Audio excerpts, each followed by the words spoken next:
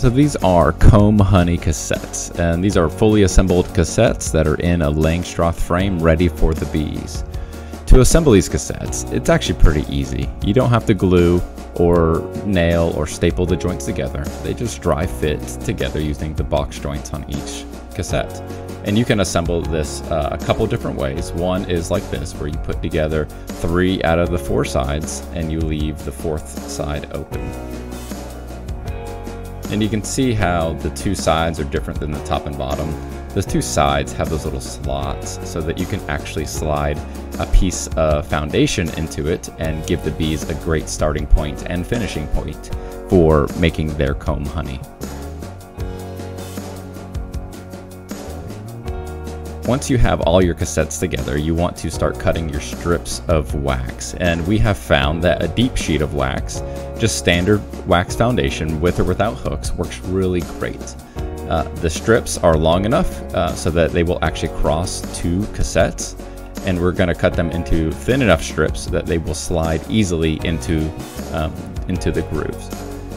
So you can see here we have two sets, the two cassettes together, and this little strip slides in there.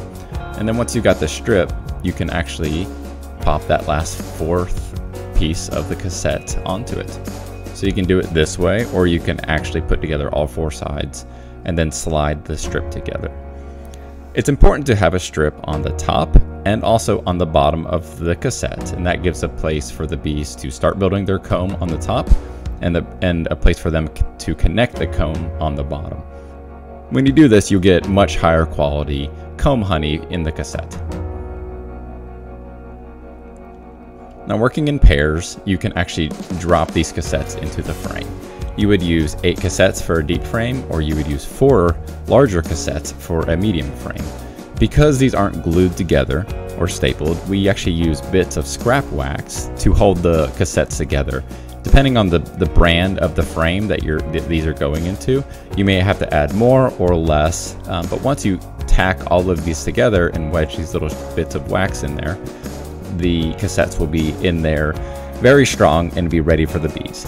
You want them to be in there semi-loose so that you can actually pop these cassettes out when you're done and you can sell them or give them away.